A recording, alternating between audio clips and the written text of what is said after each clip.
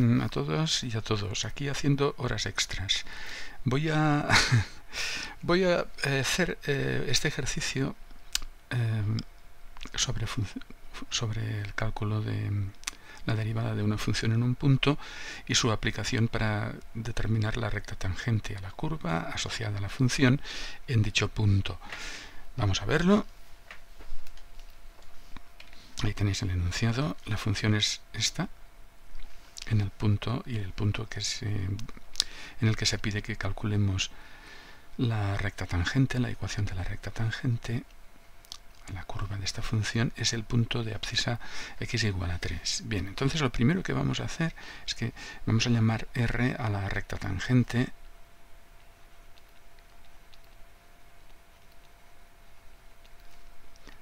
a la curva que tiene por función asociada x al cuadrado menos 2x en el punto vamos a llamarle P de abscisa es igual a 3 ¿eh? vale entonces una recta con, ya sabéis que tiene por ecuación en forma explícita pues algo así ¿no? donde esta m de r es la pendiente pendiente de la recta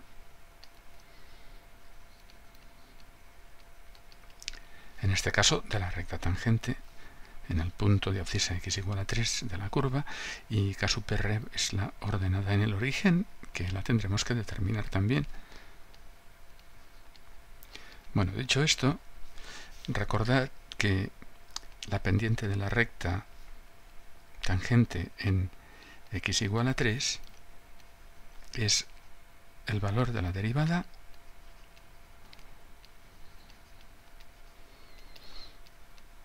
de la función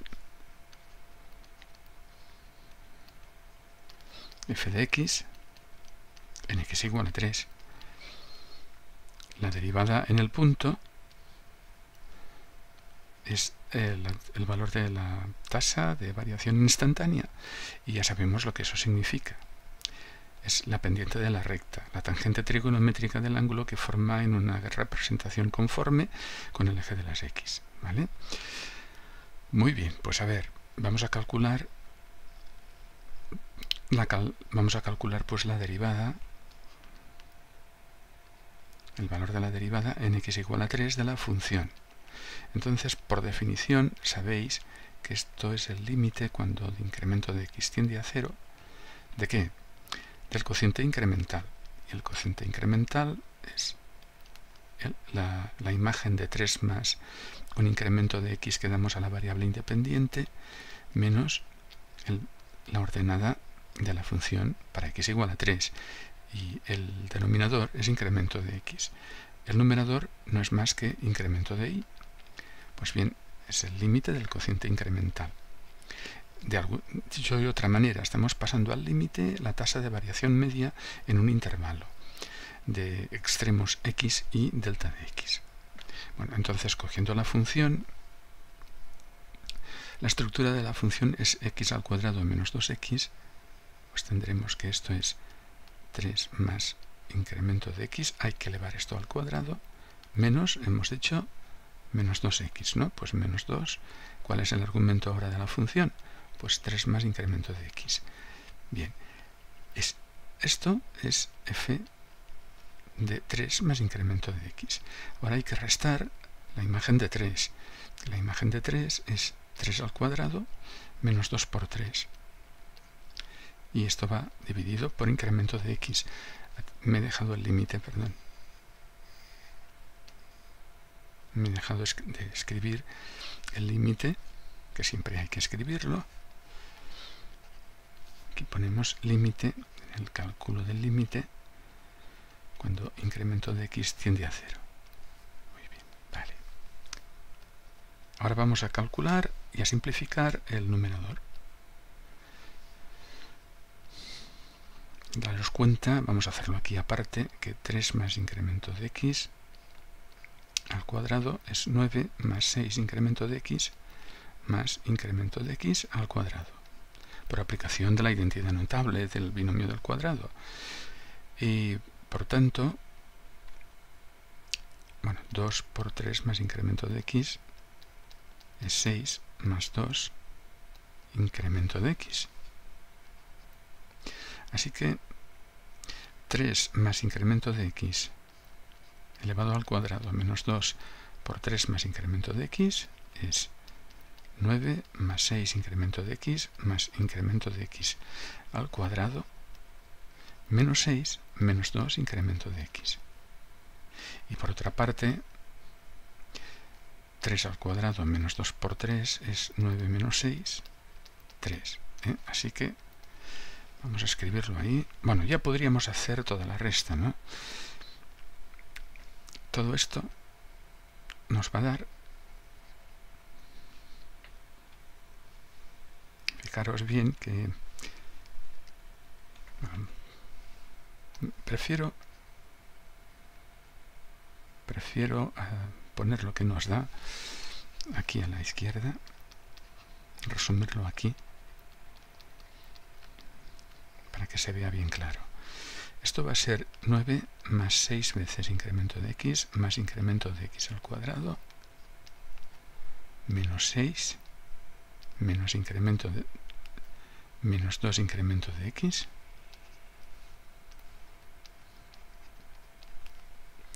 menos 9 porque aquí tenemos un signo menos delante del paréntesis y más 6 Ahora daros cuenta de que este 6 se anula con este 6, uno es positivo y el otro es negativo, y que este menos 9 se anula con el 9 positivo, y por lo tanto nos queda bastante más simplificado, esto nos queda el límite, el límite cuando incremento de x tiende a 0, de 6 incrementos de x menos 2 incrementos de x son 4 incrementos de x más un incremento de x al cuadrado. Y esto va dividido por incremento de x. Bueno, si aquí pasamos al límite, nos vamos a encontrar con una indeterminación del tipo 0 partido por 0, pero ya sabemos resolverla.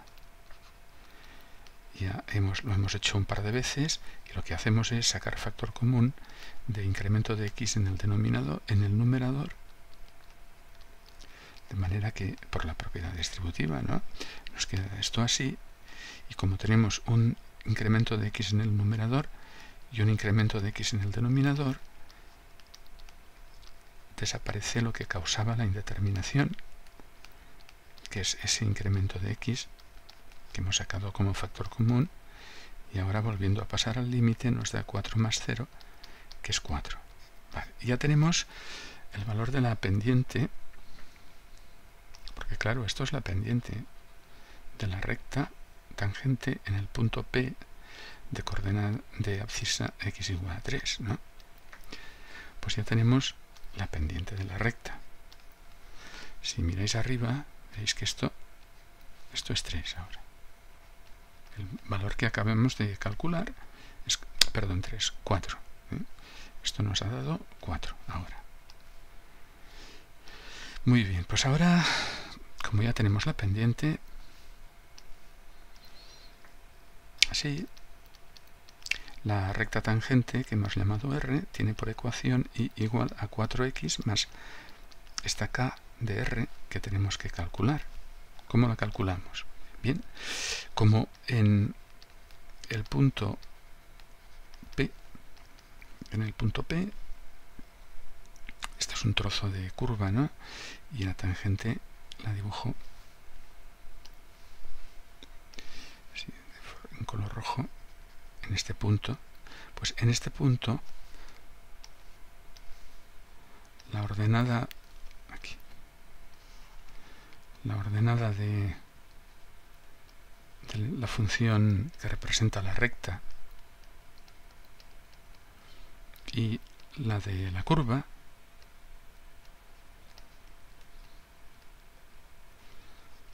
de x son iguales, tienen el mismo valor.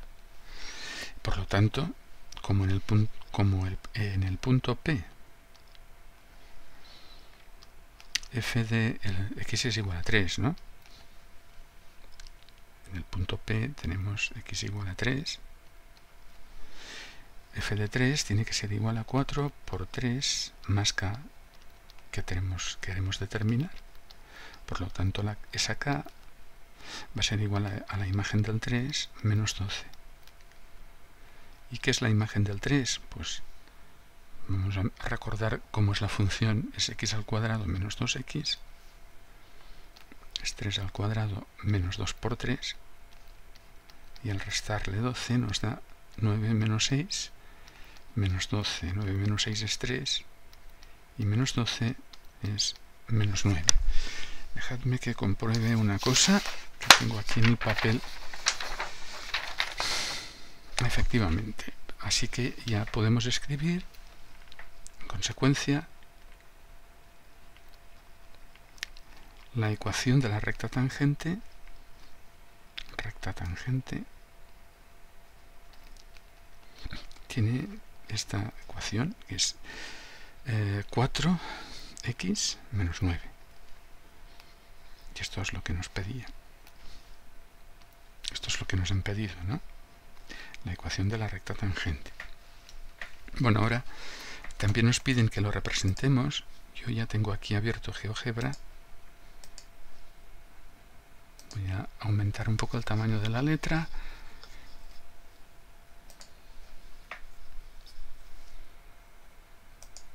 Ahora no me deja.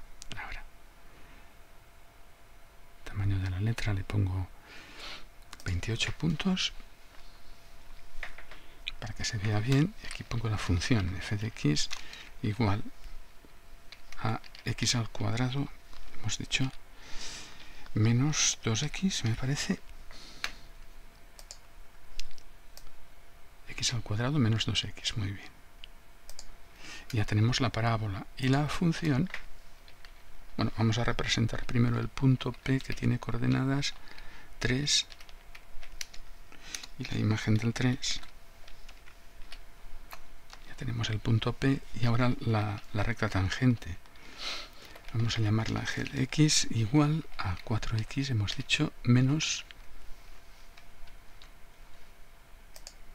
menos 9.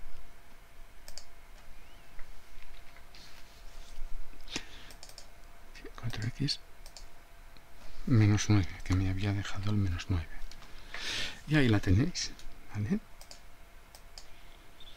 Como veis, es la recta que toca a la curva en un solo punto, la recta tangente. Y el punto tiene coordenadas 3, f de 3, que también es 3, la ordenada. Bueno, eh, eso es todo. Espero que hayáis entendido. Es un ejercicio muy bonito, muy sencillo, pero muy bonito. Y intentad entenderlo bien porque es clave. ¿eh? Nos vemos en el próximo, la próxima grabación.